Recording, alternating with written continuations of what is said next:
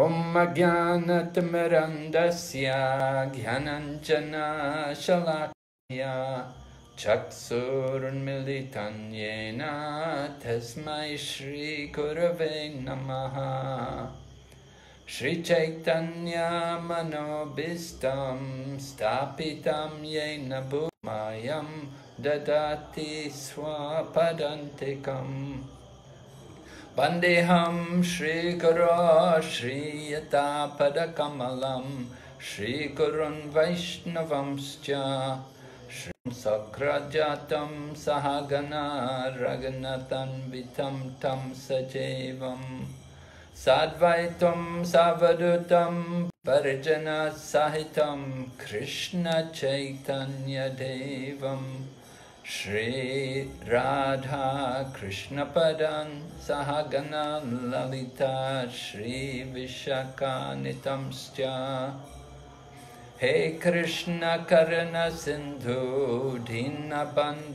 जगत्पते गोपेश गोपिका कान्ता राधाकान्त नमस्ते।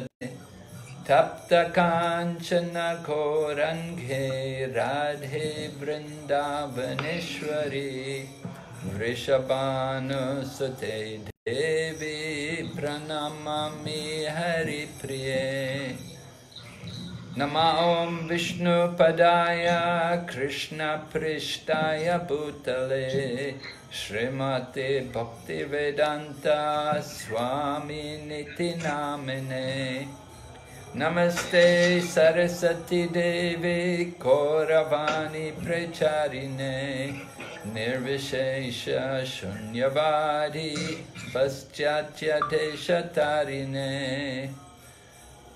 पञ्चकौपातरुभ्यश्च कृपासिन्धुभयेव च पतितनं भवानेभ्यो वैष्णवेभ्यो नमो नमः जय श्री कृष्ण चैतन्य प्रभु नित्यानंद श्री अद्वैत गदाधार श्रीवासदि गौर भक्तबिंद हरे कृष्णा हरे कृष्णा कृष्ण कृष्ण हरे हरे। हरे राम हरे Ram. Ram Ram Hare Hare So, good evening to everyone. Welcome to the second part of this uh, second lesson on this uh, Bhagavad Gita Bhakti Shastri course. I want to begin here just to show you something which one devotee has written, compiled here on the 13th chapter, because I, I was feeling in the last class one devotee was a little concerned anyway that uh, are you able to are you able to see this document? Oh no i have to open the just a minute. Yeah share it yeah let me share it yeah. Okay.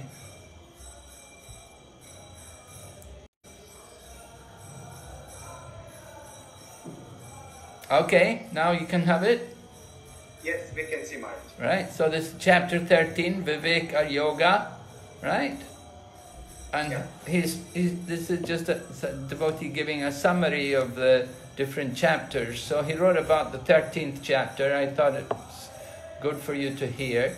He said uh, the final six chapters focus on transcendental wisdom, which helps one become detached from materialistic aspirations and be attached to Krishna.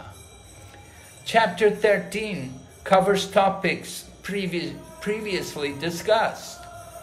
This was the devotee, one devotee was a bit disappointed that, oh, we covered this before, I know the body and the soul. So, co- covered topics previously discussed, but in this 13th chapter, Krishna is exploring them in a more analytical way.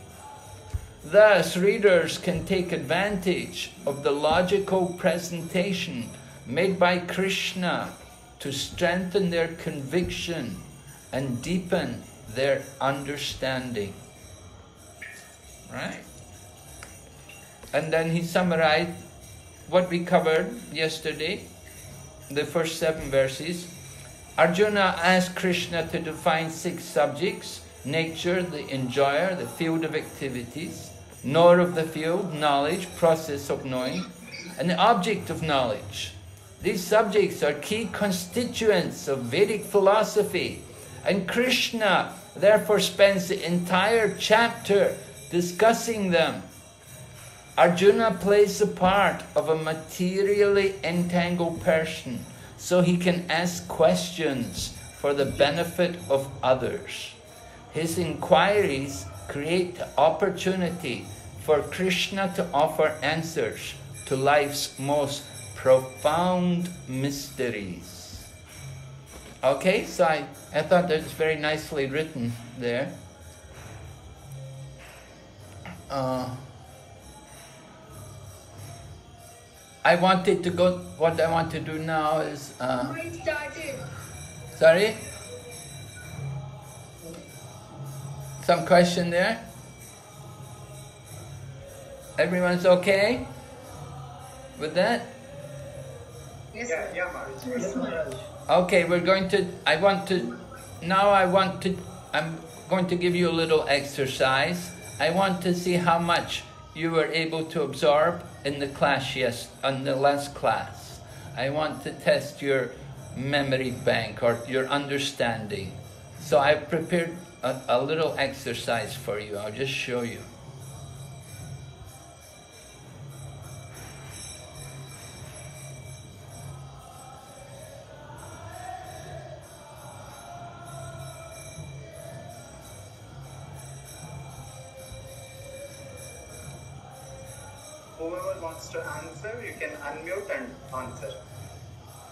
Well, I would prefer if you could type it, you know. Is it possible? We could do it on chat? Ah, yeah, we can do it on chat, Maharaj. I, yeah, I prefer that. I, I like you. I like them to get in the habit of uh, writing, putting down their answers, and typing it out. Okay. Right? I think I think it's more of an exercise for them because if we just let people answer, one of one or two people will answer. I want everyone to have a chance to think about these questions. Okay?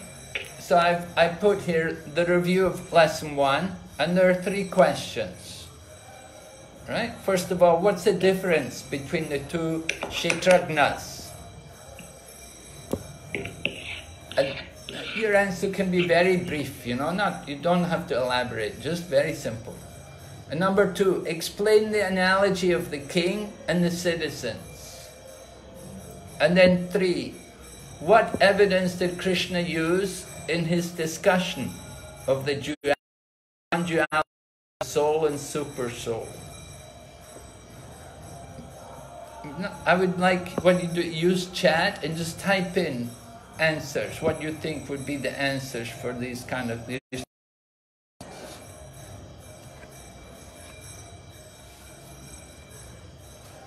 And just give you a few minutes to do this.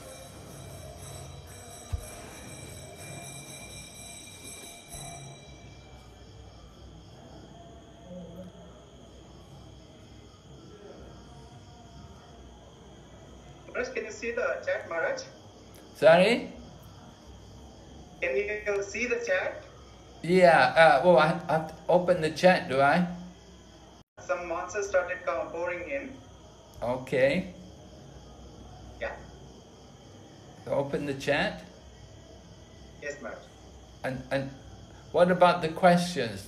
Can they, can, can, Uh, questions will go actually, yeah, but uh, they, they're writing the answers, yeah? they're writing the answers now? Oh, very good. Yeah. Oh, good.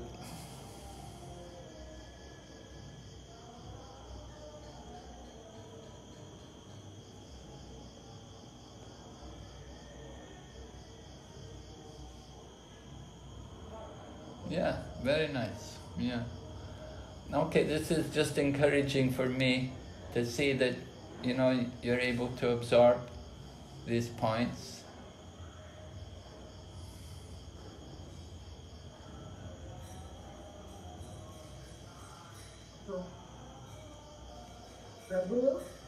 Yeah?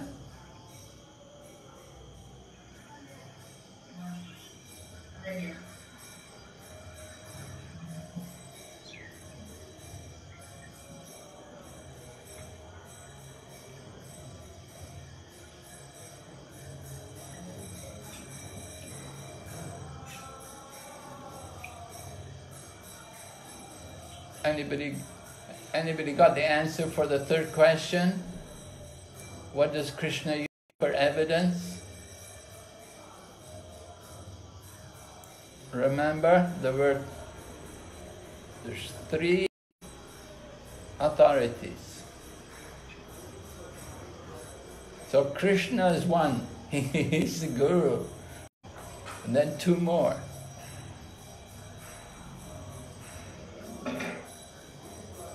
The third question, yeah, someone's answered it, right. Yeah.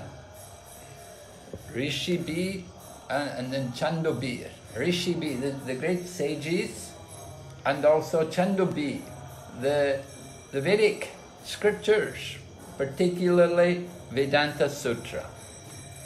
So this is Lord Krishna preaching, and in the course of his preaching, he's using authorities, sadhu, shastra, and guru. They're the authorities to establish conclusions. Okay, so thank you very much for participating in this little exercise. So we're going to go on now this evening. We're going to look at uh, verses 8 to 12. Right? We'll give you the review of that here. Oh, wait. Sorry. First I have to click this one, right?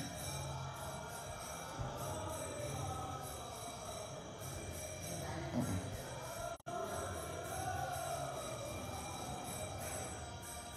Here we have Bhagavad Gita 8 to 12.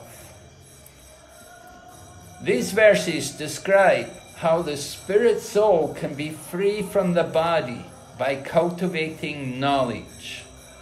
Since true knowledge is revealed within the heart of a deserving person, the real method of acquiring knowledge is the cultivation of divine qualities, of which humility is foremost. Knowledge is not about information, but about exemplary personal character and practical behavior. One who cultivates a, a saintly character experiences a change of heart, which frees the soul from its identification with the body. Okay, so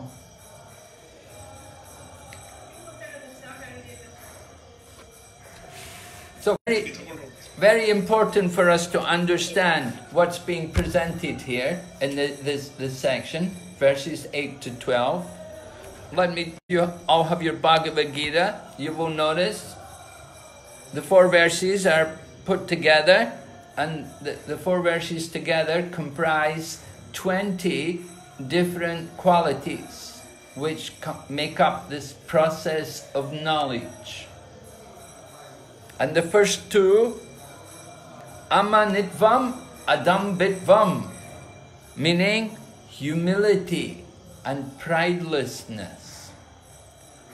Very important qualities in cultivating the spiritual path. Now, usually when we think of knowledge, and, and by way of material education, as we get material education, we tend to become more proud. We become more infatuated with our learning. But the spiritual process is just the opposite. The more, the more we're advancing in the spiritual path, the more humble we should become. We lose that uh, pride. We have a saying, maybe you've heard, pride comes before the fall. So we have to be not to be proud. Therefore, pridelessness is listed as one of the important qualities. Humility and pridelessness. Being humble. Lord Chaitanya has also stressed this for us. Let me close this door, the noise is a lot.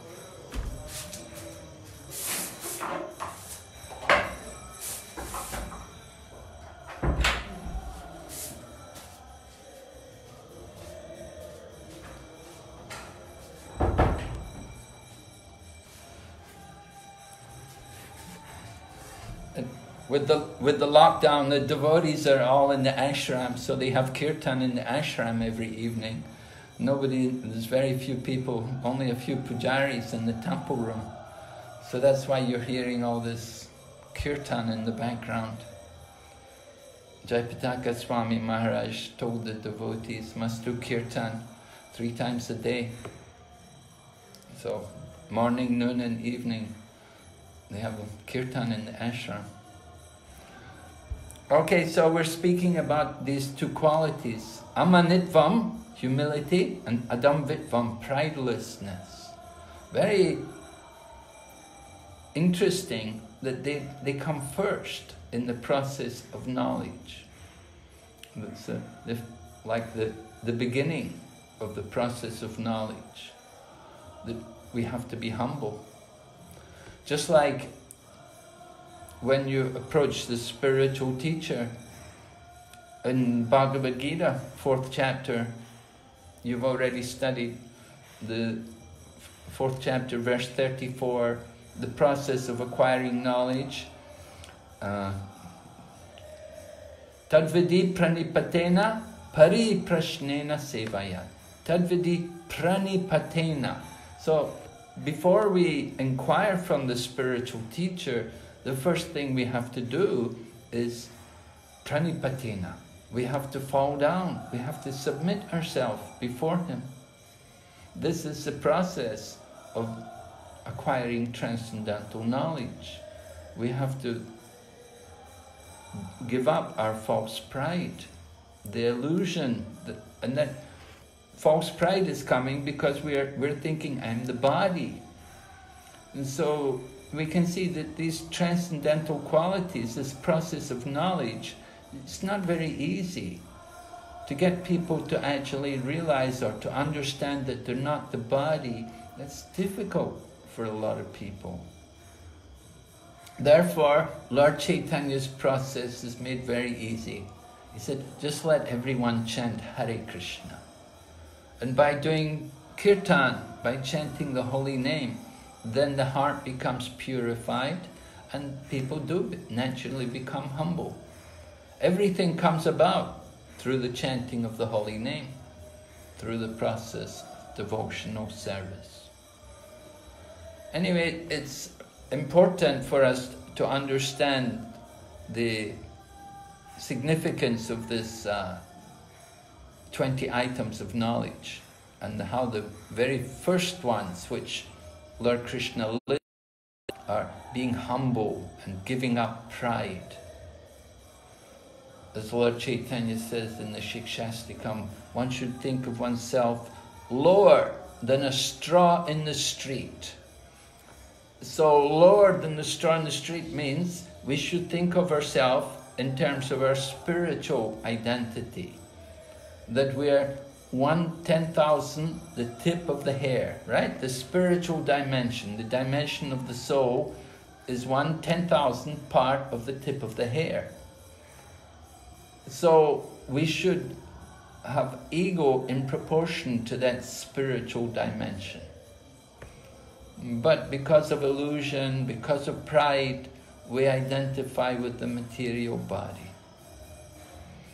So we want to understand this process of knowledge. It's not just learning.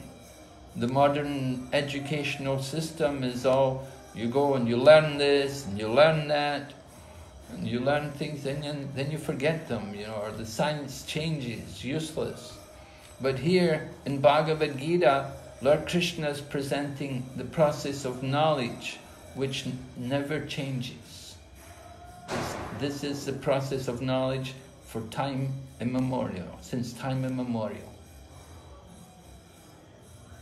Does everyone remember how we define knowledge? What does knowledge actually mean? Knowledge means, someone like to tell me? Hare Krishna Maharaj. Uh, knowledge means uh, knowing about the field, uh, the soul and the super soul. The soul and the super soul, anything else? Yes, and uh, in And the relationship, and- relationship between the soul and the super soul. What is the Yeah. constitutional position of the soul in context of the super soul? Yeah. Uh, that, and that should uh, that should encourage us, or that should lead us to act accordingly. So that constitutes the law. Uh-huh. Maharaj, Maharaj, Yes? I think the third one is the Kshetra. Yes, right. Kshetra also. Yes, we should know about the field of activities, right. We should know about the field of knowledge means to know the field of activities and the knower of the field. There are two knowers of the field, right? But we should know about the field of activity, meaning the body, and we should know also, as Maharaji said, the soul and the super soul, their relation. That is real knowledge. And if we cultivate this knowledge, then if we cultivate this knowledge properly, then naturally we'll come to the perfection of Krishna consciousness. We won't have to come back again in this material world.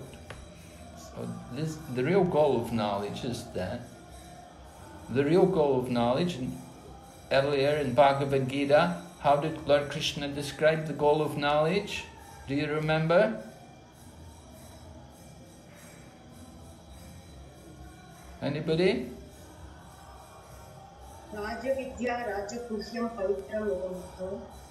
What, so, what's the goal?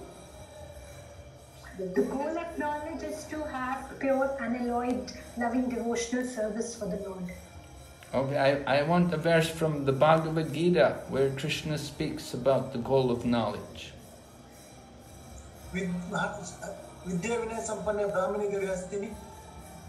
Well, that's Paramatma vision, that verse. That's seeing with an equal vision. That is not the real ultimate goal of knowledge.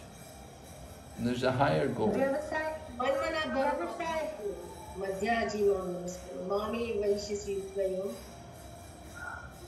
18.6, sorry, 18.66. 66 No, you, have, you haven't got it yet. 2.40, uh, 2.41 व्यवसाय आत्मिका बुद्धि एक है गुरु नंदना Th- that's a nice verse, but th- it's not the one I'm thinking. There's an. I'll give you another verse, which I think when you hear it, yes, can I say? yes, Sarvasya chaham iti sannivishto. I think so that is the verse. sarvasya chaham. No, it's not the one I'm thinking of. Generally, when we speak of the goal of knowledge, the verse is Bahunam janmanamante jnanavam mam prapadyante Vasudev sarvamiti samahatma sudurlabha. After many births and deaths, one who is actually in knowledge understands that Vasudev Krishna is everything. Such a Mahatma, a great soul, is very rare. You see the specific reference to cultivating knowledge in that verse. Now, I want to ask you, by the process of knowledge, do we advance very quickly? yes No. Let's have a vote. Let's have a vote. How many people say yes? Put your lights on. Yes. How many say no? Put your lights on. No, Maharaj. How many don't know?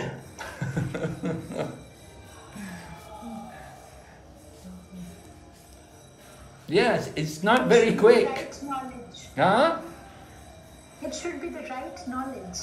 Well, Appropriate knowledge. well, we're talking about the right knowledge, right? Yeah, definitely, it's the right knowledge. Once, once we have the knowledge, we'll automatically get the bhakti towards Krishna. So knowledge is the first step, knowing. Mm-hmm. well, yeah, we have to hear. We speak more about hearing. We, we, de- we definitely need to hear. We generally say we begin the process of bhakti by hearing. So you, you can say some knowledge definitely is there. It's the foundation.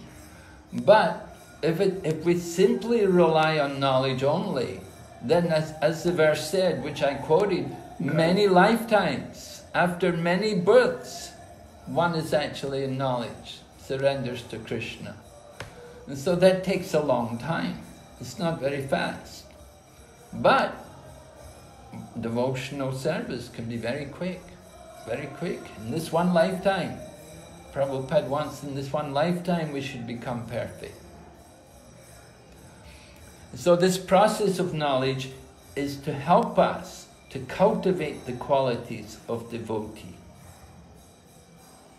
Not, just, not that we're just simply cultivating gyan, we're not just simply cultivating knowledge, but this, the qualities which are mentioned here, they're, they're to help us cultivate the real qualities of a devotee. So this kind of knowledge is very, very important for us. Actually, although there's 20 items, not all of these 20 items are in relation to bhakti. It's explained that the last two items, the last two items are mentioned that uh, the philosophical search for the absolute truth and accepting the importance of self-realization these do not specifically ap apply to bhakti. But the other items certainly do apply to bhakti. Right? So we said, amanitvam adamvitvam. Humility is very important. So Prabhupada, sometimes you can hear Prabhupada speaking very strongly, calling rascal, fool, stupid. This is very good. And just like we saw in the Bhagavad Gita, Lord Krishna chastised Arjuna. After Arjuna had surrendered to Krishna, then Krishna said to Arjuna, Oh Arjuna, you're speaking learned words, but you're mourning for, not as what, for what is not worthy of grief. The wise lament neither for the living nor the dead. So Krishna immediately took the position of the teacher and the job of the teacher is to find the fault in the student. Right? You don't want to just simply flatter the student. Oh, you're a good student. Oh, you've done so well.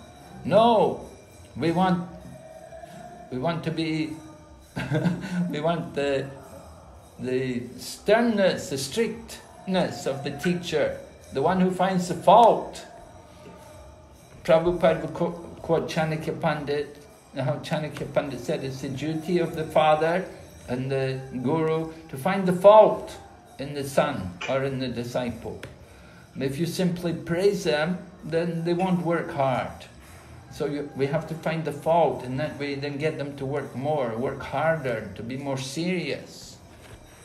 And so we want all of you devotees to take this Bhakti Shastri course very seriously and make great efforts to master the study of the Bhagavad Gita. And then you can go on to more things. Prabhupada told one sannyasi devotee, there was one, I remember in Prabhupada's time, there was a one young man, he'd taken sannyas from Prabhupada, and Prabhupada told him to go to South India and preach. At that time we had no centers in South India, nothing. And so he said, Oh, Prabhupada, South India. He said, In South India, everyone knows Sanskrit. There's so many Sanskrit pundits there. How will I preach there? And Prabhupada told him, He said, You simply have to learn maybe 40 verses from the Bhagavad Gita. If you learn the correct verses from Bhagavad Gita, then you can preach to everyone. And so this Bhakti Shastri course is a very wonderful foundation for training everyone in Krishna consciousness. And it's, uh, Prabhupada, Prabhupada mentions how uh, this should be the preliminary qualification for accepting the second initiation, which is the actual initiation in Krishna consciousness. First initiation, you get the name. Second initiation is where you get the Gayatri Mantra. So, the good qualification to put you in good standing for approaching the spiritual master for second initiation is that you've studied Bhakti Shastri. Right? So these qualities are mentioned. First we hear Amanitvam Adambhitvam, and then there's other qualities, Ahimsa, and then uh, Shantir Arjavam, and then Acharyopasanam. Acharyopasanam, approaching the Acharya. Very important. Prabhupada said, everyone needs to have a spiritual master. It's very important.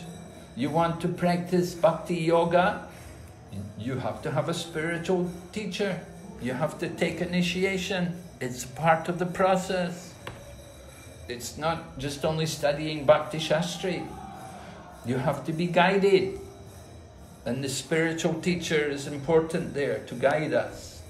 Without accepting the spiritual teacher, then we haven't really taken, we haven't, we're not following the process properly, correctly. So acharyopasanam is required. Must take, you must accept a spiritual master. We see Lord Krishna also had a spiritual master. And then also Lord Chaitanya Mahaprabhu had a spiritual master. And then Srila Prabhupada and Bhaktisiddhanta Saraswati, they all had spiritual masters. And if, if we think, oh, I, I'm different, then it's not good. It's everyone's responsibility, of course, to choose who they want. We don't force anyone who you want, who you have to take initiation from, or when you take initiation. That's your own consideration. But at some point, you should do it if you have not already done it. Okay, so this is part of the process of knowledge accepting the spiritual master, and then going on, come up to uh, in text number uh, text number eleven. Maichanyena bak Maichanyena yogena bhaktir avyabhicharini. This is the key part of the process of knowledge cultivating pure, unalloyed, constant devotion for Krishna. Very important. That's it. You can say that's the goal of bhakti. Pure, unalloyed devotion for Krishna. Constant, unalloyed devotion. Ananya bhakti. I think you studied this earlier in the in the middle portion of the Bhagavad Gita. You've heard a lot about Ananya Bhakti, so here it's also mentioned as part of the process of knowledge. So we have to understand the connection here between all of these different items of knowledge. We'll just read a little from the purport here to understand in presenting this. Prabhupada writes in the beginning of the purport, this process of knowledge is sometimes misunderstood by less intelligent men as being the interaction of the field of activity. Interaction of the field of activity. The field of activity meaning the body, and the interactions, well, in the previous verse, if you look back to text 6 and 7, you can see what Prabhupada means when he talks about the interactions of the field of activity. He's talking about things like desire, hatred, happiness, distress, these things which come from the mind. These are not part of the process of knowledge. They're something else. You see this?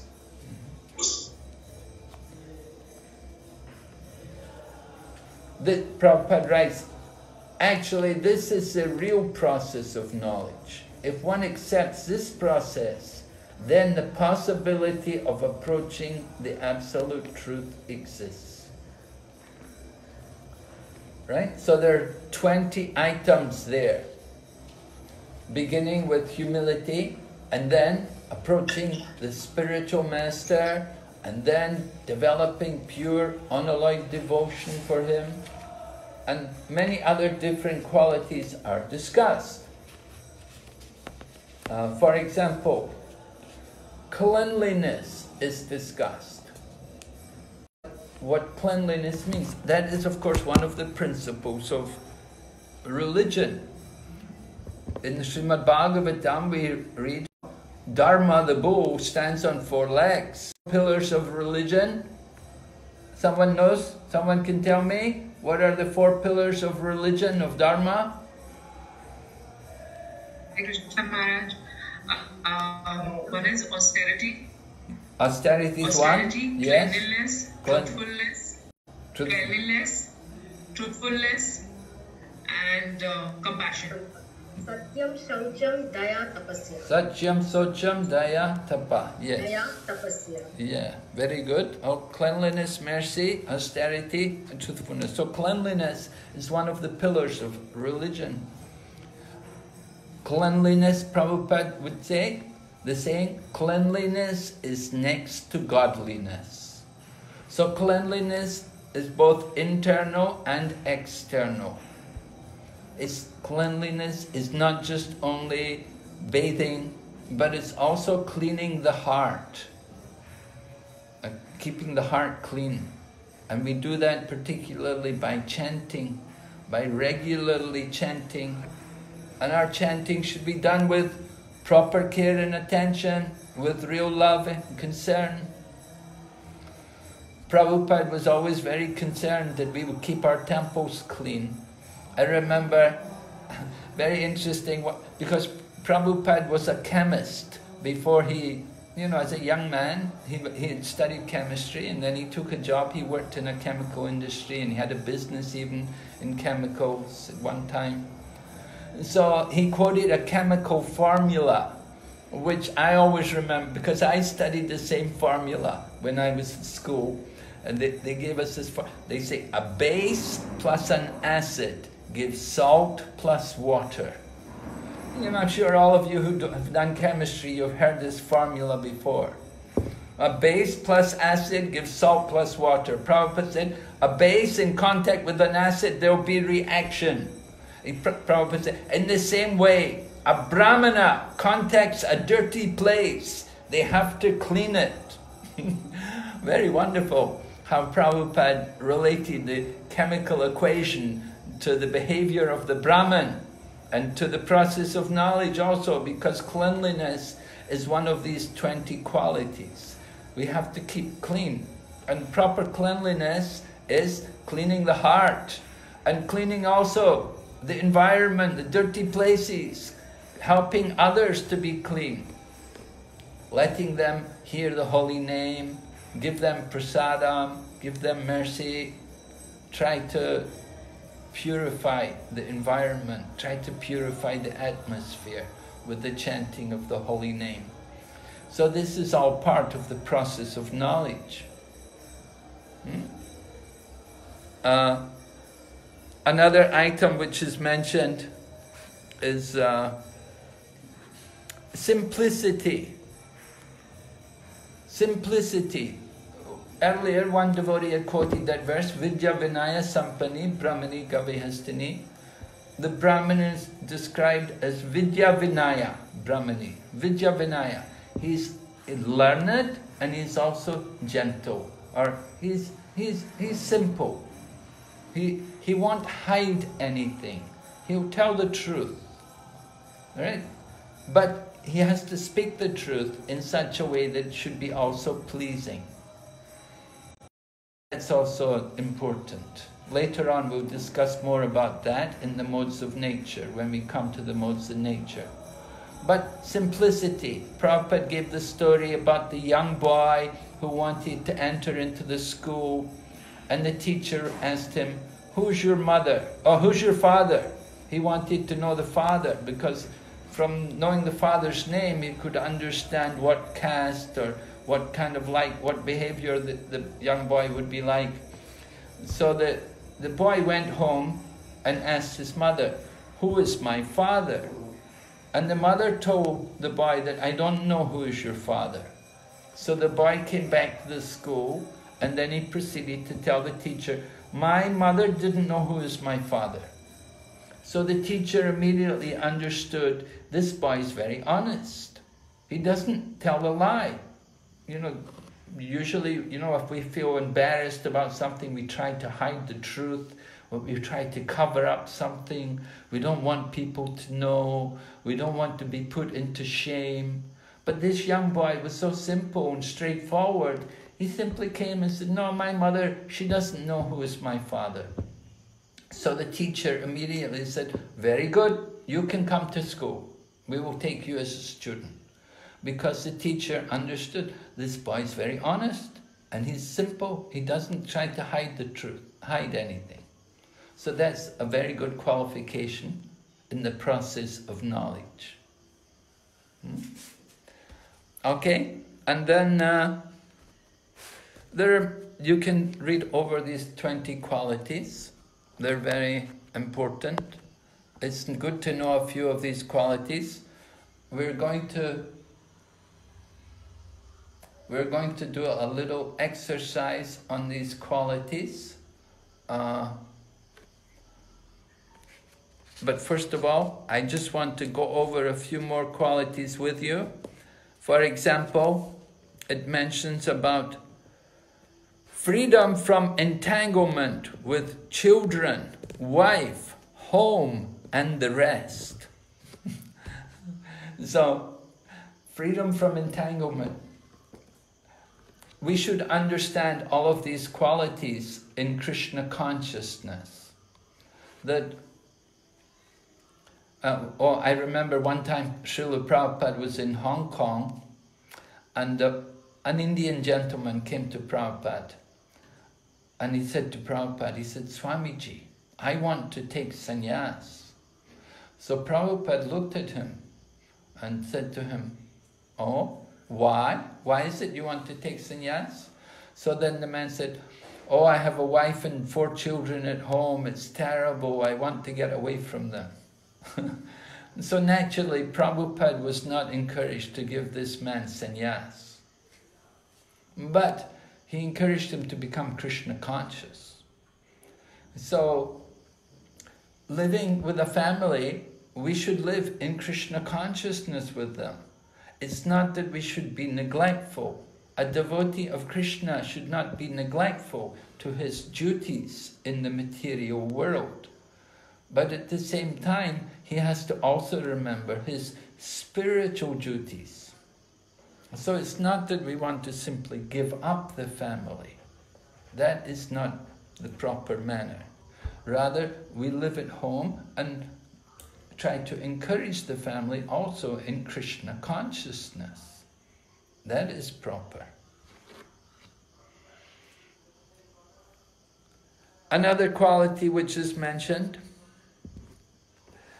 Janma, the perception of the evil of birth, death, old age, and disease. Janma, mrityu, jara, vyadhi. So we certainly can understand these things like birth and death, disease, old age. They're not pleasant. They're difficult. It's painful. Different conditions of life. There's so much suffering in the material world. And Srila Prabhupada said, it's very good if we appreciate how much suffering is here in the material world, because that will be a good impetus for us towards spiritual life. If we are thinking the world, this material world, to be very pleasant and comfortable, and oh, I'm having a good time, I'm so happy here, I'm enjoying, then we'll never want to be Krishna conscious. So it's good for us to appreciate, to think about life and to look at it and see what is the actual situation here in the world. It's very important for us. We don't want to be too much uh, comfortable.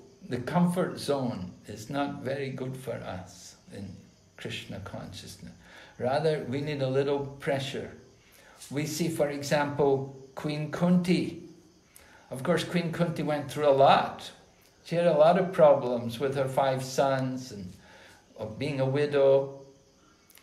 But she said to Krishna that, oh, I wish all these calamities would happen again and again. Because the more there are calamities, the more I can remember you. And remembering Krishna means there'll be no more birth and death. So this is the idea.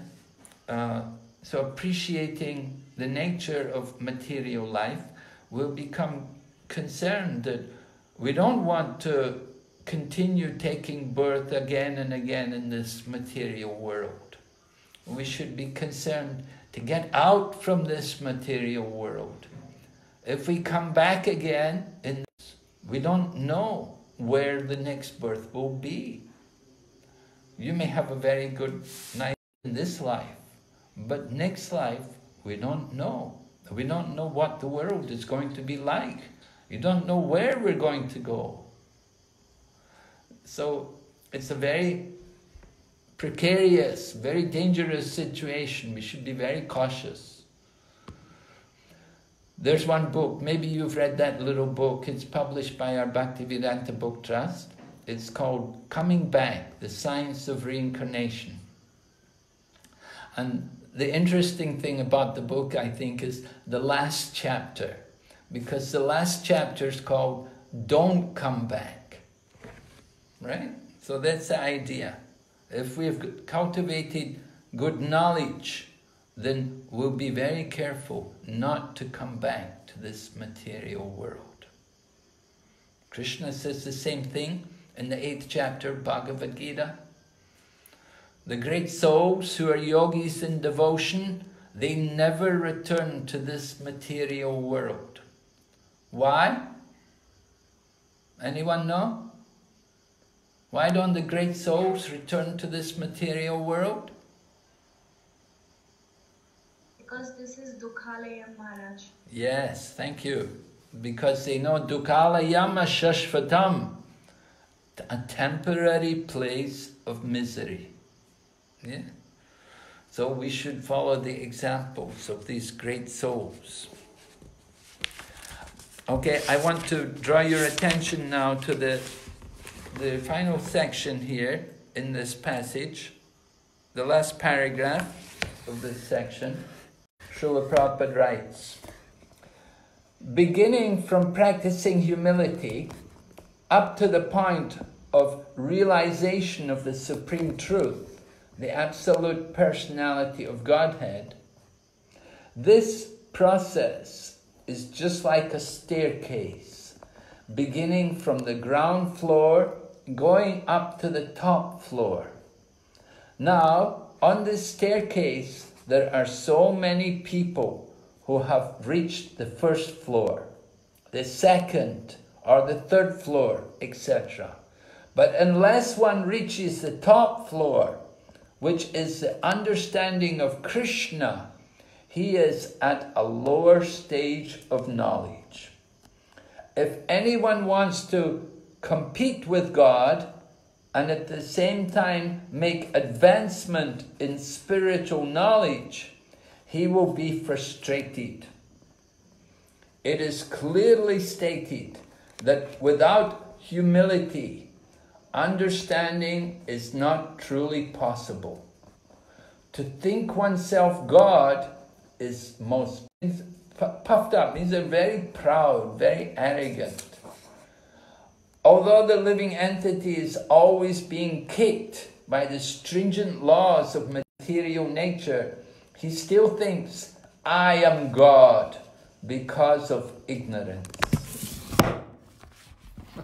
Hare Krishna. Hmm.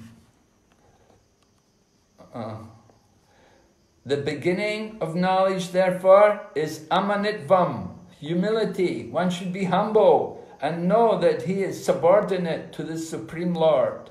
Due to rebellion against the Supreme Lord, one becomes subordinate to material nature.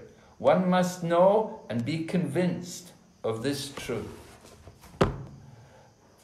Okay, so there are 20 qualities mentioned there. Uh, I have an exercise for you on this now. I want to show you. Uh, uh, just one minute. Put.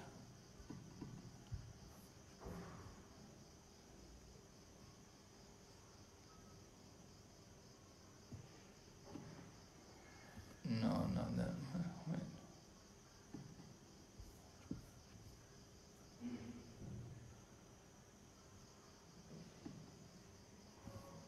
Okay. Hmm. So what is the purpose? Uh, I've listed here the, the two aims behind this exercise on these verses tonight. First of all, we want you to understand, to have a deeper understanding of these 20 items of knowledge.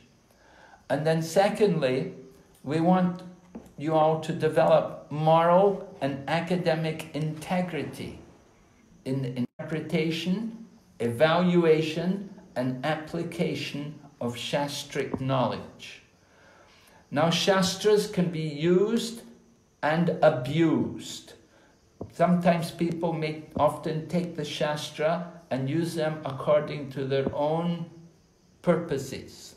So it's very important for us to be able to recognize how people sometimes misinterpret Shastras. So, what we want you to do tonight, we want you to look through these 20 items of knowledge, not all 20. I want you to select a couple of items yourself and think of ways in which these items of knowledge could be misused or misinterpreted. Right?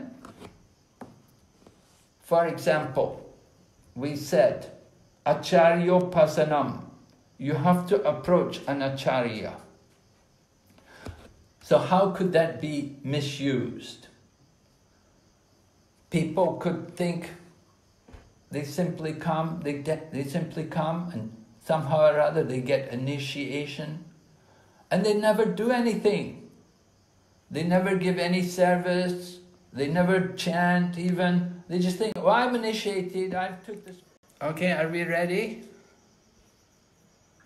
Yes, Maharaj. Okay, so okay, so we'd we'd like to hear some some someone like to offer some explanation, a manner in which one of these items, one item of knowledge, how it could be misused. Maharaj, uh, the detachment can be misused by people try to escape from your responsibilities. I'm sorry, Prabhu, could you repeat that, please? Uh, detachment could be misused as a, uh, an, as an excuse for escaping your responsibilities. Or even uh, um, living in a solitary place to try to run away from your responsibilities. Ne-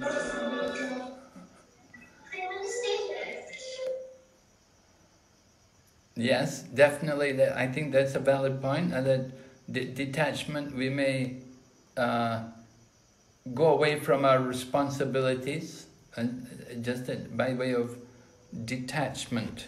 Uh, which particular, how did Prabhupada speak about it in the, in the, in the purport? Which quality is it in Sanskrit? Uh,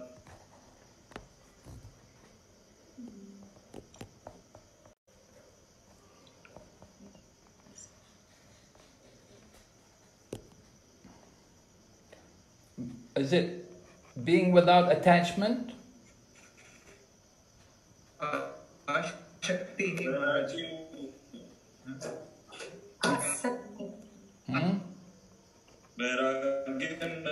well as uh, asakti, being without attachment. Asakti. Okay. Yeah. So you said that could encourage people to be uh, irresponsible, giving up some kind of maybe they have some dependence or they have some duties in material life, and just by way of being detached, they want to leave everything. Yes, Maharaj. Okay, yeah. Everyone agree with that? Yes, Maharaj. Yes, Maharaj. Okay, and and someone else like to offer something? How qualities could be? Non-violence, non-violence can be misused. Yes, can you explain more?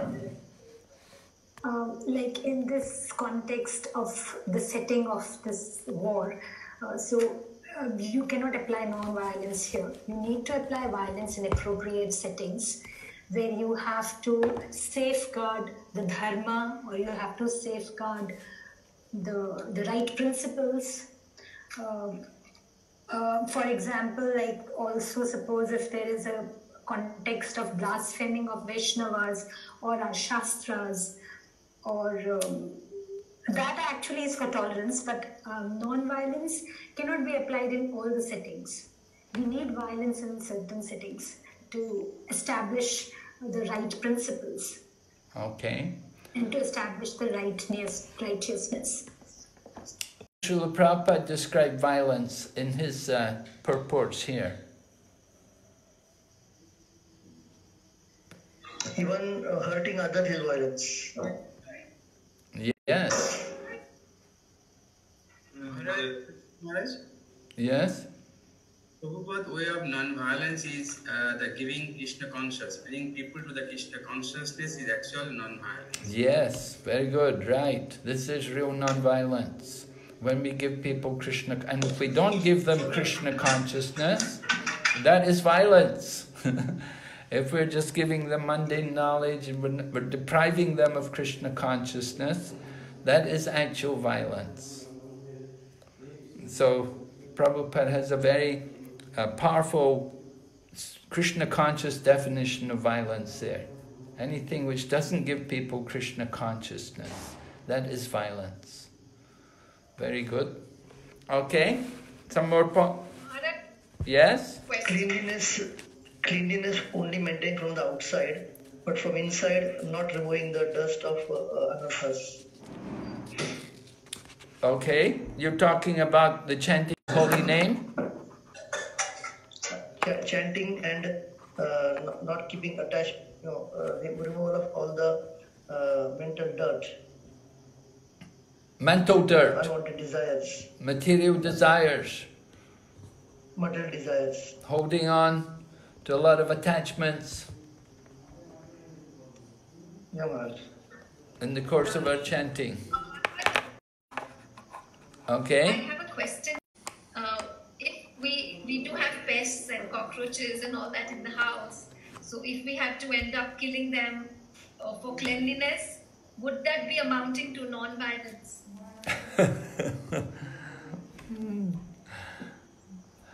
Yes, well, these are some of the problems of modern living.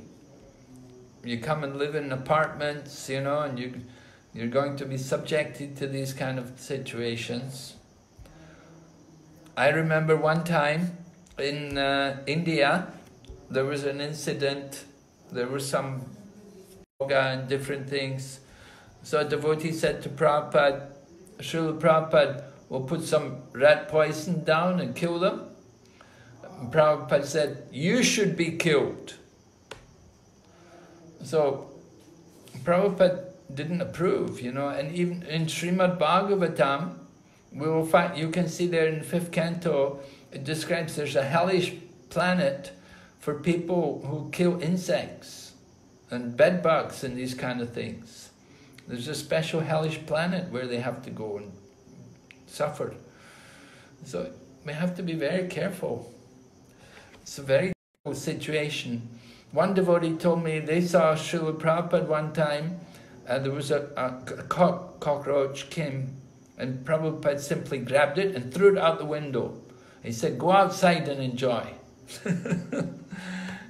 time they were putting up Prabhupada's mosquito net in Bombay, at Juhu, and there were a lot of mosquitoes, so devotees started swapping, swap, swap, uh, using a cloth to swipe them and, you know, kill them. And Prabhupada said, why are you making my room into a crematorium? so, it, it's, it's not very good, but sometimes, you know, you, it, it, it may be difficult to have to do anything else. You may be in a, a, a you know, very difficult situation. It's not very ideal though to kill them and certainly we'll get reactions for these kind of things.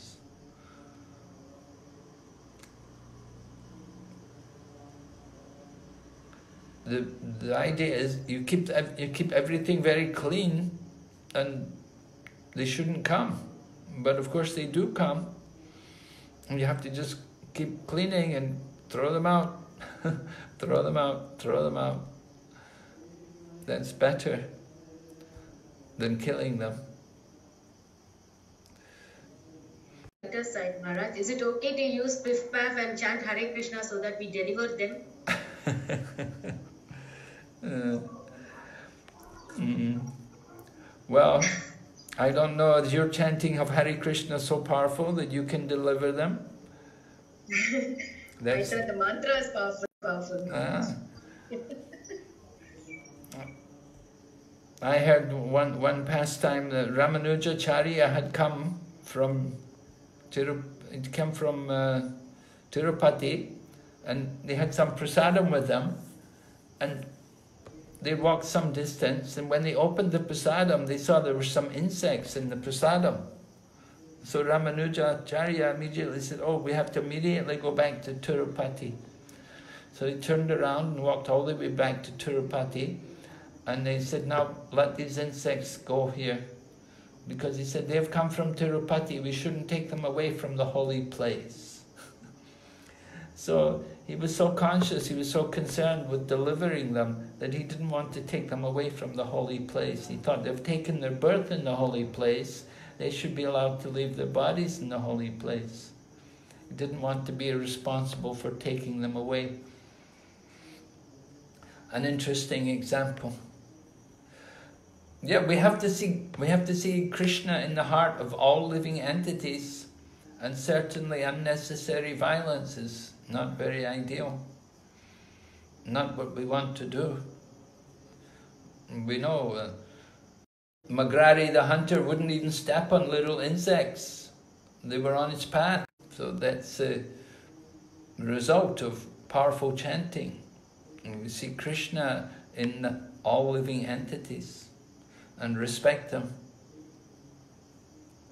So violence, we generally, there is proper use of violence, as you pointed out. In the case of the battle, Arjuna should fight the battle. That's proper use of violence according to the order of Lord Krishna.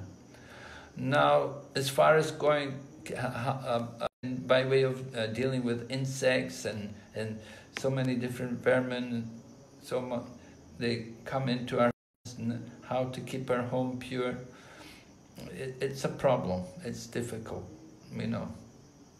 You know. You just try to keep everything clean. That's the main thing.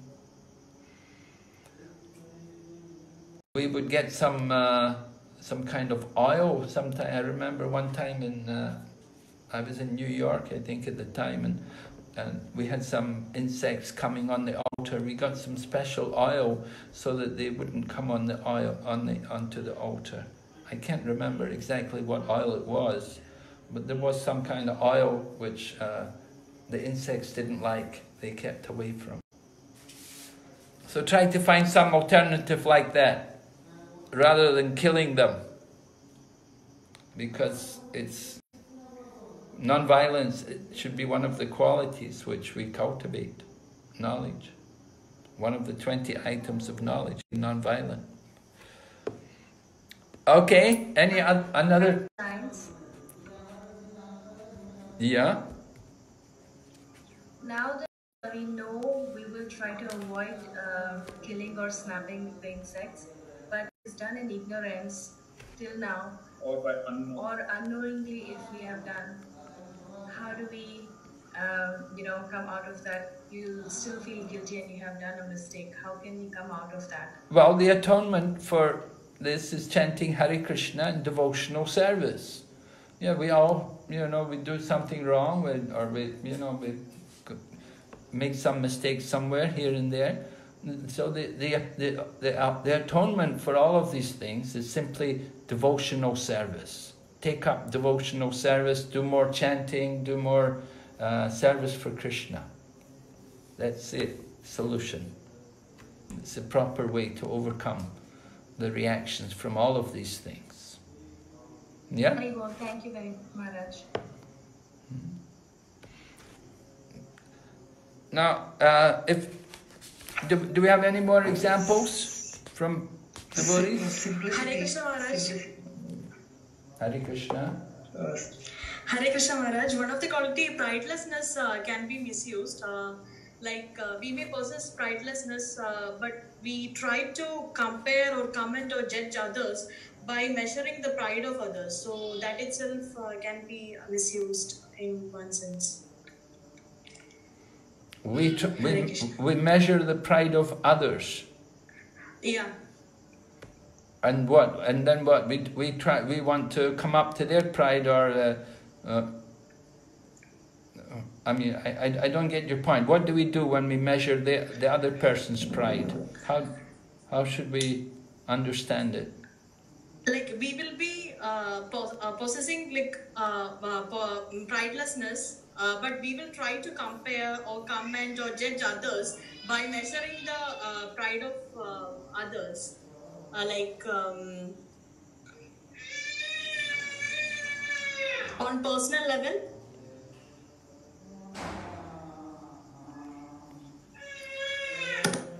On personal level, we may not have the pridelessness. Sorry, say again.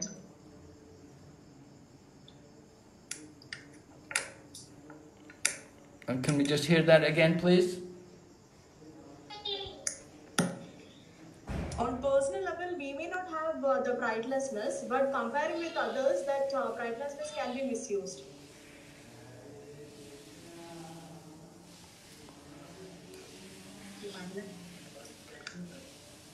Oh, you mean other people may be very proud, so we may think it's all right for us to be.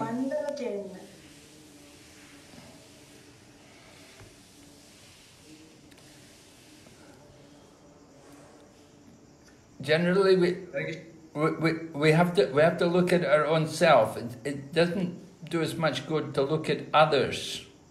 We, we've got to go into our own self and try to cultivate this humility. We see the examples of the acharyas. For example, in the Chaitanya Charitamrita, Krishnadas Kaviraji says, I am lower than a worm in the stool. He said, anyone who utters, anyone who hears my name, they lose their pious activities. And he said, anybody who chants my name, who utters my name, they become sinful. Only the mercy of Lord Nityananda could deliver such a fallen soul as myself.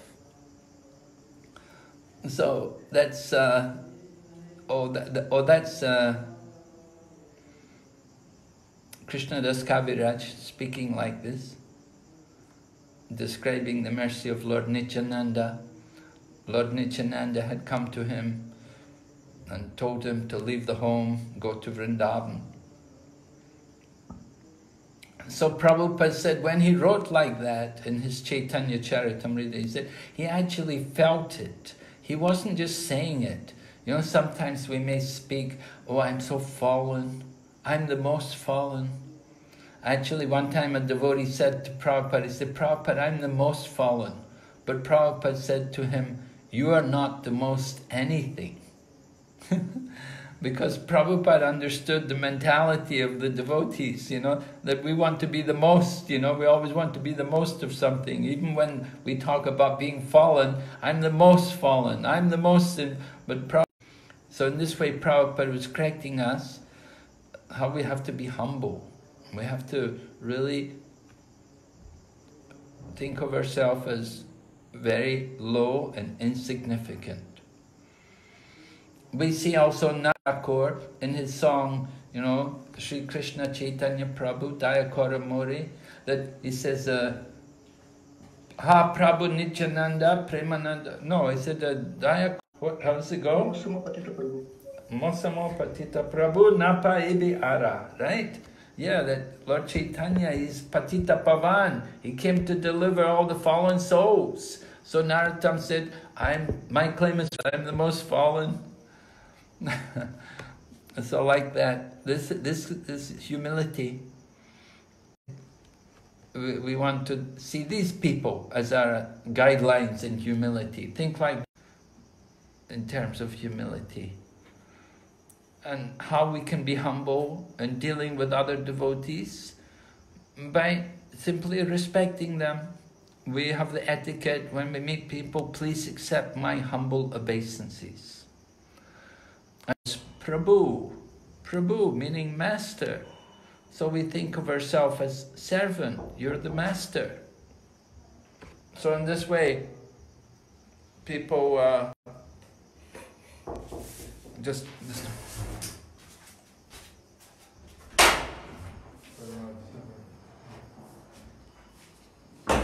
in, in this way people have to cultivate humility. Seeing others as the master, I'm the servant, be the servant, the servant. Because that's our spiritual position.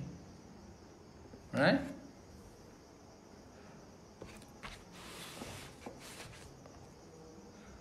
Some others. Tolerance. Yes. How, how, how could how it could be abused? Uh, tolerance is, uh, I mean, uh, to bear the insults or dishonor that is meant towards us. But if we misunderstand other Vaishnavas, then that will be misused or misunderstood. Okay, you have to you have to give me again. I'm I'm not able to catch everything. It's not so clear. So uh, tolerance is meant to bear the insults or dishonor which is uh, uh, supposedly towards us. So if we are insulted, we are we are meant to bear it. That is tolerance. But if we misunderstand it and we continue to tolerate insults towards Krishna or other Vaishnavas, then that is basically kind of misuse or misunderstood. All right. Oh yeah. Yeah, we can tolerate offenses. We can tolerate uh, abuse of our own self, but we should not tolerate to hear the abuse or offenses against Krishna and against the senior Vaishnavas, right? Okay, good. Uh, sim simplicity, Maharaj. Yes? Example, be, uh, being simple, wearing tilak and everything, uh, and uh, still having mentality to do politics among the devotees. yeah, yeah, somebody may be in the dress of the Vaishnava, but it doesn't mean that he's so pure and simple and straightforward if he's talking politics. So, of course, that is prajalpa. And prajalpa is one of the things which lead to spiritual fall down. By talking nonsense, then we start to get more nonsense thoughts and nonsense ideas, nonsense actions. And then again, another birth in the material world. So we have to be conscious of not only just simply looking like a devotee, but actually behaving like a devotee. Right? We, we say uh, cultivating the proper behavior. No yenagata sapanta, follow in the footsteps of the Mahajans, the great devotees. We don't want to be just caught in politics, politicking. So Lord Chaitanya Taniya Sadahari, always chant the holy name. That is the important thing. That is the real guide to success if we keep the holy name on our tongue. Hmm, how to recognize a devotee is not just by the appearance, but they have to actually show the nature of the devotee. Chaitanya Mahaprabhu was asked how to recognize a devotee, and Mahaprabhu said, Asat Sangha Tyag E Vaishnav Achar. Sri Sangha Eka Sadhu Krishna Bhakti Ar. The nature of the devotee is that they give up the association of the asat. But is not right. Oh, this, that. Oh, so many things. Prabhupada was never happy to hear the devotees give a lot of complaints. Prabhupada liked when the devotees would praise and they would talk good about the devotees. But when people wrote to Prabhupada complaining about this and this is not right and this devotee did that and so many things and all the politics, they don't want to hear. Lord Gramya Katha, the village talk. Village in the village, you know, in the village people come together, they just gossip. It's all prajalpa. So he told Raghunath, never hear these things and talk with this and in this like this. So it's very important for us also to keep our Krishna consciousness. If people are talking politics, better to just uh, chant the holy name. Just say, I'm sorry, I have to do my japa. Or run away, right? Don't stand and listen. Don't get involved in politics. detachment from home. Uh, so usually we've seen that um, uh, in uh, among the devotees, they, uh, especially the newly married couples, they think they need that detachment. Our children are burdened for their spiritual practice, so they think not to get children and to be. They, uh, so therefore, it should not be misunderstood that detachment is uh, not to have children or not to pay attention to family, but to uh, commentary on this uh, passage uh, about how to make a home a sweet home. Mm-hmm. So asakti he should not be uh, misused for not developing the family uh, uh, or not pay attention to the family. Okay. Yeah, very nice. Yeah. Prabhupada writes in the Nectar of Instruction that uh, we need many children for our Krishna consciousness movement. And, and of course, the, the proper parents of Krishna conscious, uh, when you have a, a, then they're the ideal parents to give birth to Krishna conscious children. And of course, giving birth to Krishna conscious children is both religious and legal. It's authorized in the scriptures because they're the future devotees. So very important, yeah, young couple get married. While they're young, they should have the children because when they get old, it'll be very difficult. Very difficult for older people to have children. Sometimes we see that people, they wait till they're better, that in, uh, earlier in their life they plan to have children and then they can raise their children to become Krishna conscious. Very important. The children in our movement, to give them a good training, good education, and they can grow and grow up to be nice devotees. So I'm always anxious to see nice children, like to see children taking an interest in Krishna consciousness. I think it's very important for our movement. So yes, thank you Mataji, very nice point. Anybody else out there? Detachment from general people, Maharaj. Detachment from the general people, yes. it means that we should not imbibe their uh, habit or their quality or to listen to their uh, village talk as you said. But then it can be misinterpreted as not going to the people to bring them to Krishna consciousness. Because Chaitanya Mahaprabhu said, Jare dekho tare kaho Krishna upadesh. Means whomever I see, I have to give, try to bring them in Krishna consciousness. So if I am not going to in between them, among them, then I cannot bring them to Krishna consciousness. Hmm. Thank you, Maharaj. Yeah, okay, very good. Yeah. We don't want to isolate ourselves from the general people. We do have to. At the same time, we like to live in the association of devotees. We don't like to, you know, have to be surrounded by a lot, a lot of people who are not devotees. Then it can be quite difficult for us. All right, is there any, uh, any more points there? Krishna Maharaj. Yes? So aspiring to live alone is another point. Neophyte devotees after hearing this may leave the devotees association. The Chaitanya Charitamrita said that we need association of sadhus and then only we can elevate ourselves. We can't just isolate ourselves uh, thinking that after Krishna says this we must isolate ourselves. Interesting. Prabhupada says, uh, he writes here in that, in relation to this, he said, uh, uh, one may test himself by seeing how far he is inclined to live in a solitary place without unwanted association. So Prabhupada writes like that, it's like a test for us, that you, if you go into that kind of place, you have to live uh, in a solitary place. Are you able to remain Krishna conscious? and not to, are you able to stay Krishna conscious and not to be deviated because you're, you're on your own.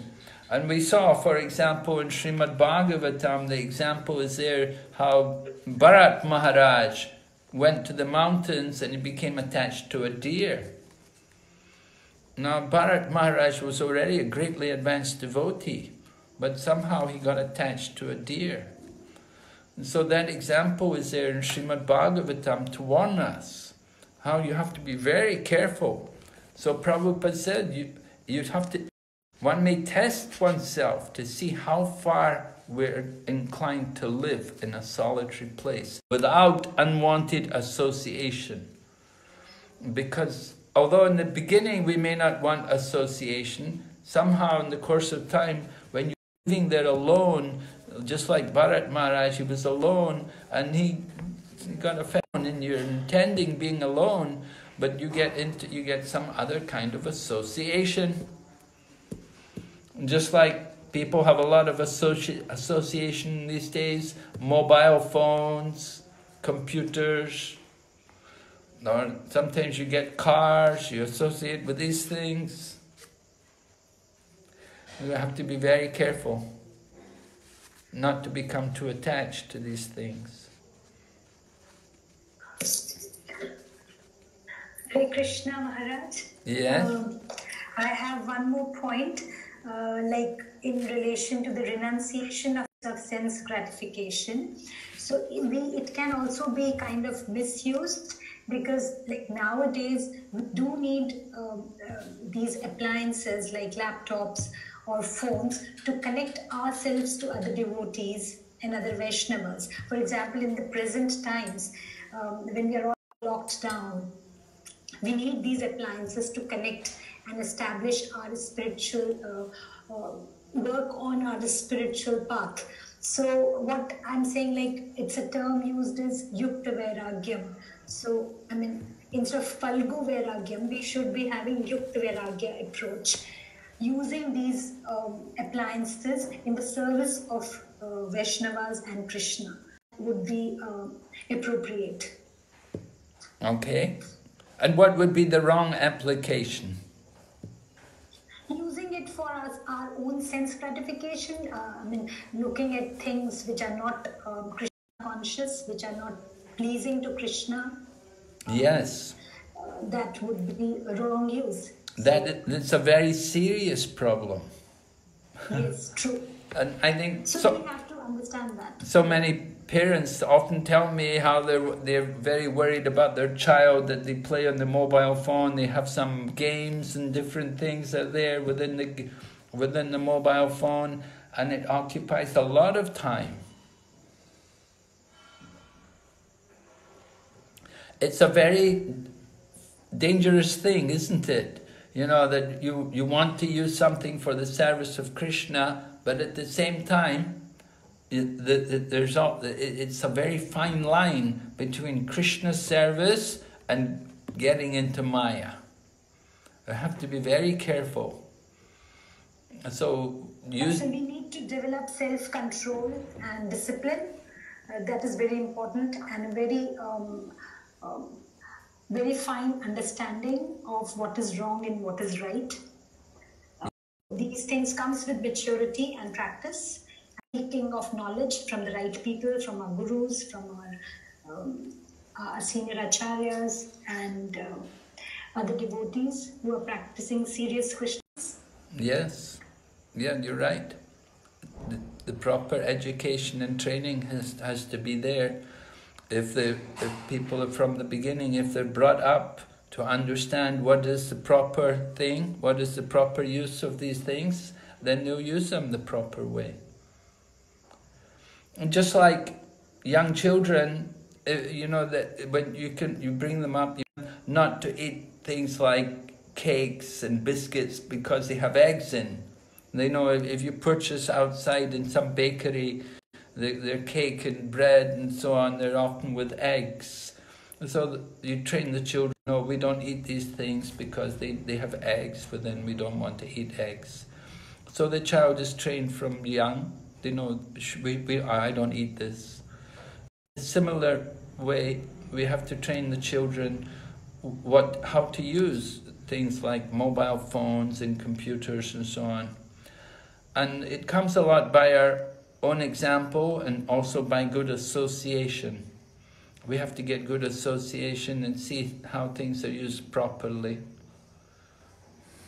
But it's, it's a great challenge because especially young children growing up in the world and they, they, they go to school and they associate with other children there and, you know, a little bad association and it's, you know, it's highly contagious just like this virus which is going around is highly contagious. And so similarly, this kind of association, materialistic association, is highly contagious, spreads very fast. You can see, didn't take very long for everyone to learn how to use a mobile phone and how to use it and how to play the games and so on. It's a very deep-rooted contamination. We have to be careful.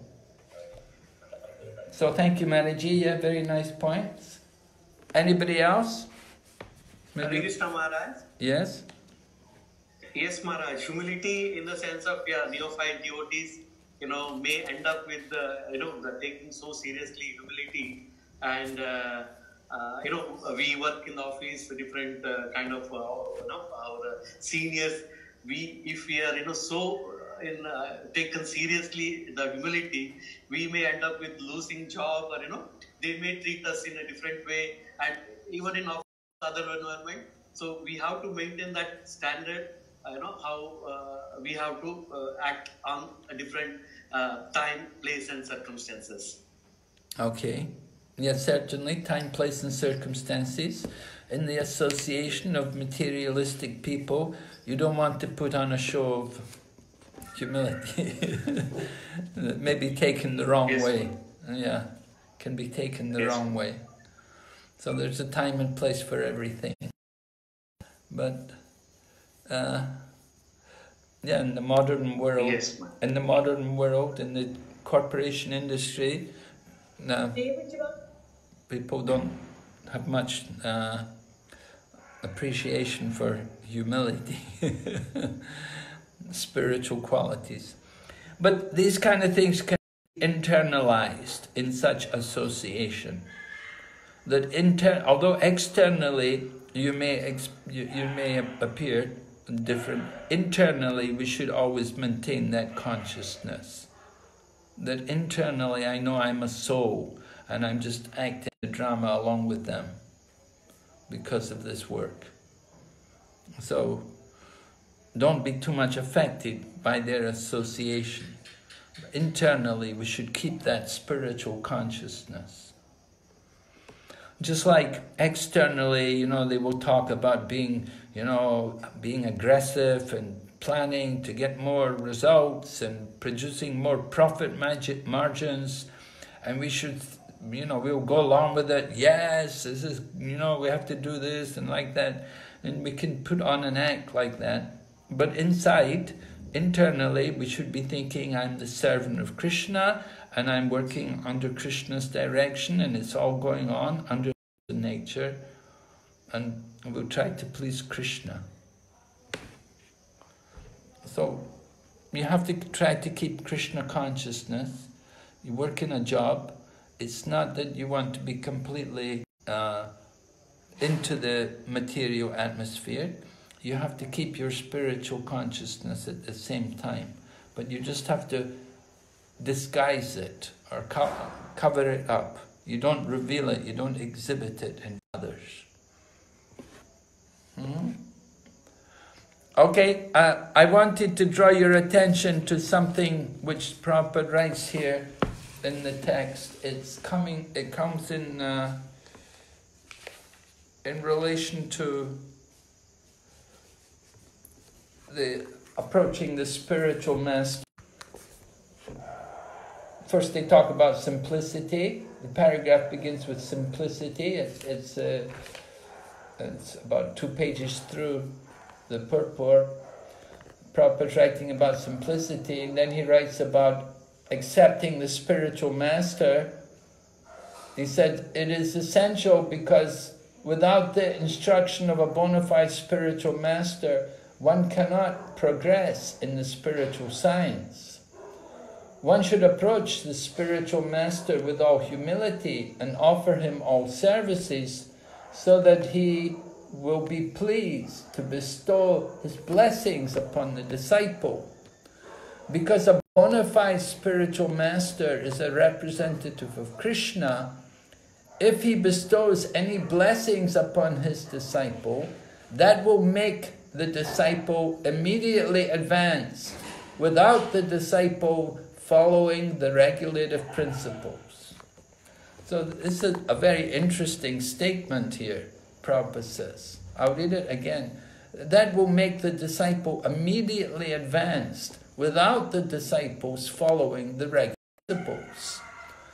Or the regulative principles will be easier for one who has served the spiritual master without reservation. so we have to be a little care careful about reading something like that because someone may read this and they may think, well, if I get the blessing, and they could use this, you see, Prabhupada says, without the disciple following the regulative principles, they are immediately advanced simply by the Guru's blessings. so we should not take this uh, the wrong way. We may think, oh, Guru bless me. I don't need to follow regulative principles. The blessings are there. But with the blessings, Prabhupada, of course, qualified it in the second sentence. He said, the, the regulative principles will be easier who has served the spiritual master without reservation. So when the spiritual master gives blessings to the disciple, they may not be following regulative principles, but because he's encouraging them, they may start to follow the regulative principle. They should. They should think that I'm so fallen, the spiritual master's given me mercy, he's helping me. Now I have to become more serious. I really have to can't cheat any longer because Guru Maharaj has given me blessings, so I should take advantage. I have to really improve my conduct and do better and keep the principles. So, Master, that we will follow the regulative principles, not that we'll deviate from them. Mm -hmm. Anybody else there who would still like to contribute something? Uh, Maharaj, I have a question. Yes? Uh, please, I apologize for my naivety, but, but uh, I can't exactly differentiate between humility and pridelessness as two qualities. Aren't they related? I mean, if you lack pride, then you're humble, and for being humble, it means you have pridelessness. So, how do I differentiate these as two qualities? I mean, they are there, of course, so I just to understand um, how do I really infer this um, since they are mentioned as two separate. Well, I, could, I, I would try to think of it like this that humility could be more the internal quality, that one's own internal nature, and pridelessness is working with others. Okay, Maharaj. Okay, all right. When we are, you know, working along with, with, with, other people like that. So one, one is internal and the other is more external in actions and so on. Both, so both internal and external, as far as we go ourselves, personally as an individual and others, both ways we want to be humble and be without pride. Very certainly, the Prabhupada doesn't really give a clear distinction between them, but uh, there's certainly, as you say, it's two qualities. There's humility is in relation to our own self, and pride is working, you know, alongside others. The tendency. Hmm? Thank you, Maharaj. Looking for. Hmm.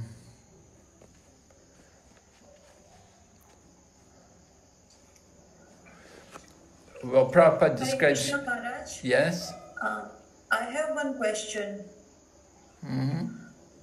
Maharaj, you just mentioned that if Guru's uh, mercy is there, then the disciple can follow the regulative principles. But let's suppose, Maharaj, if the disciple is not following regulative principles nicely, so in that case, will the disciple be able to follow Guru's instructions like other specific instructions? Is it possible? It, it may be possible for some time, but it won't last for very long.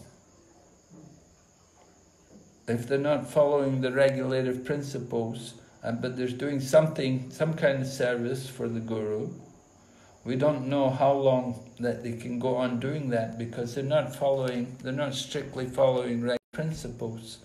So after some time, because they're not strictly following the regulative principles, they, they, will, they will just drift away from the service of the spiritual master. Although they may do a little service for some time, they won't because they're not, not keeping up the, the proper standard. So within their heart, they know that they're not doing it right. So they'll feel guilty. They'll feel, they'll feel guilty or they just, they won't even care at all. And they just won't even, if they may, they may feel guilty, they don't want to come, just stop coming at all. They don't come near. So like that, they, they give up Krishna consciousness. Just like there was one devotee, he was a very senior man, and he was actually like a sannyasi, and he was in charge of a temple, and he was building a temple there. And but he was building the temple, he wasn't chanting.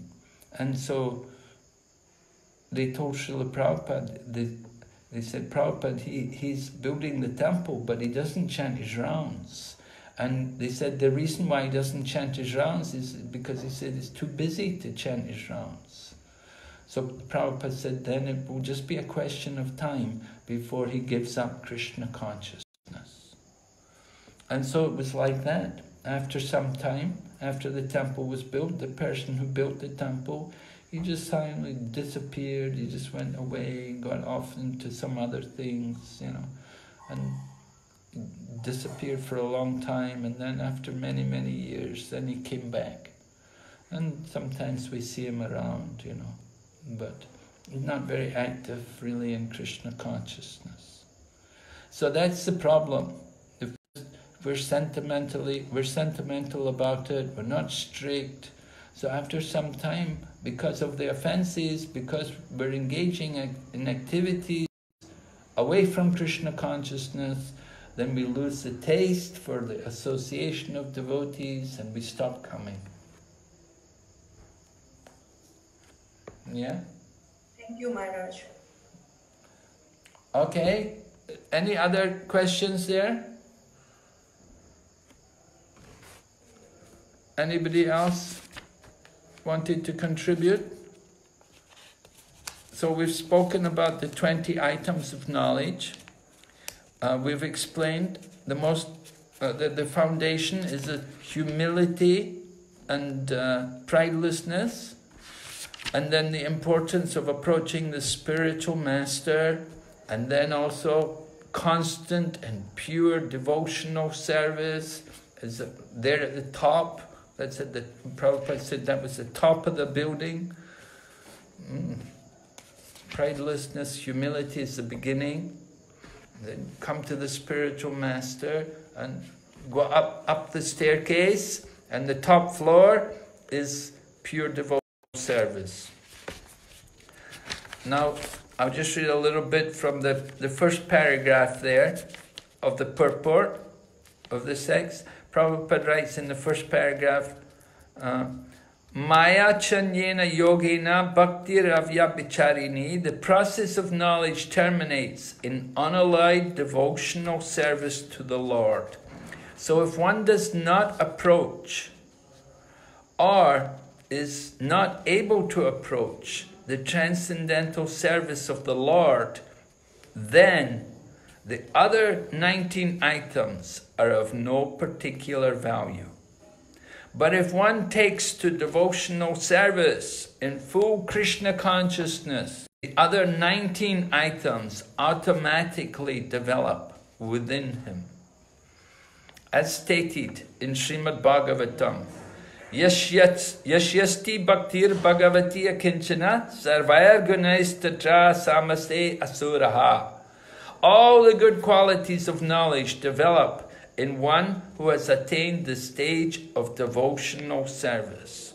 The principle of accepting a spiritual master, as mentioned in the eighth verse, is essential.